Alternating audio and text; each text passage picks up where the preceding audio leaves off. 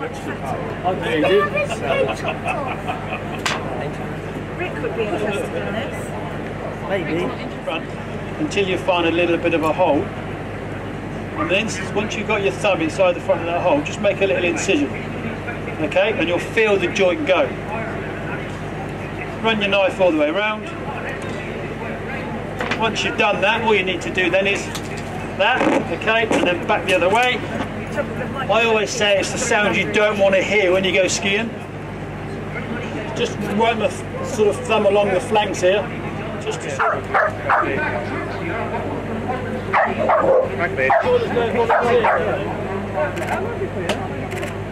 Okay, now this bit, what we're going to do, again, using our thumbs, just going to work our way around. Sit.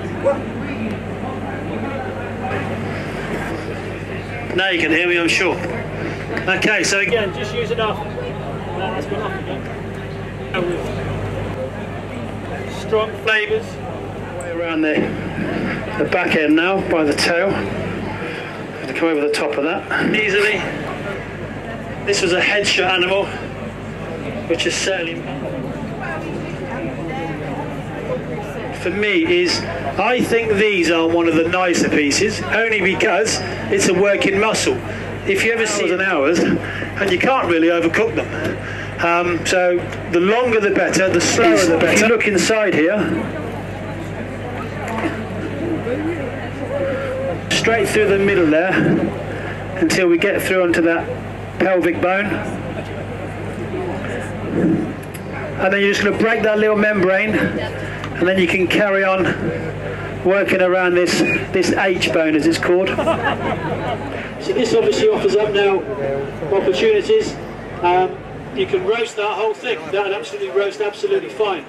Into that knee joint. So all you need to do is just make a slightly off straight line. These thigh bones out. I'm then going to show you how we can break down one of these haunches yet again. Um, but without a knife. So we're actually going to go back to what I'm using fat from the inside out. And obviously then when you slice your, slice your uh, haunch for Sunday lunch, you've got this wonderful black pudding through the, running through the middle of a, out the use of a knife. And what we're going to do is, and you take this off,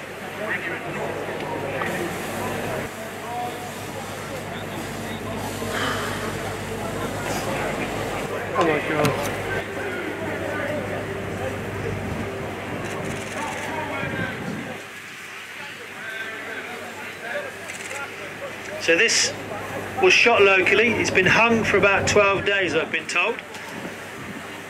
So this should be absolutely fantastic. It's a little bit longer than I tend to hang myself, but um, the only thing that's going to happen, the slightly longer you leave it, is that you're just going to take on that slightly more gamey flavour. So just stick to there. I'm